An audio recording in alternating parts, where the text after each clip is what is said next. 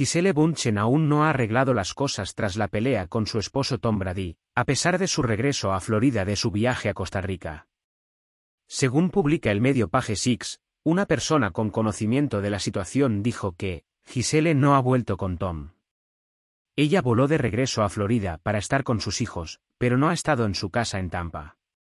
Tom todavía espera que puedan reconciliarse.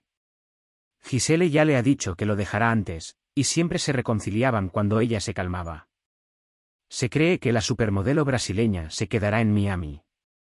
Muchos aseguran que discusión se dio debido a la impactante decisión del mariscal de campo de los Buccaneers de no retirarse de la NFL. Una persona cercana a la pareja explicó, ha habido problemas en el matrimonio por su decisión de no retirarse. Gisele siempre ha sido la que ha estado con los niños. Habían acordado que él se retiraría para centrarse en la familia, pero luego cambió de opinión. La misma persona le explicó a Page Six que los informes de que actualmente se están divorciando no son ciertos, aunque otros expertos dicen que la pareja podría ir en esa dirección. Este reporte llega después de que el mariscal de campo de los Buccaneers, de 45 años y considerado el mejor jugador de todos los tiempos del fútbol americano, se perdiera 11 días de entrenamiento en agosto. Y cuando se le preguntó por esas ausencias, Brady respondió, todo es personal, todo el mundo tiene diferentes situaciones con las que lidiar. Todos tenemos retos realmente únicos en nuestra vida. Yo tengo 45 años. Hay un montón de cosas que pasan. Bunchen, de 42 años, tiene dos hijos con Brady, Benjamin, de 12, y Vivian, de 9. Y, por otra parte, el atleta tiene también un hijo de 15 años de su anterior relación con la actriz Bridget Moynihan.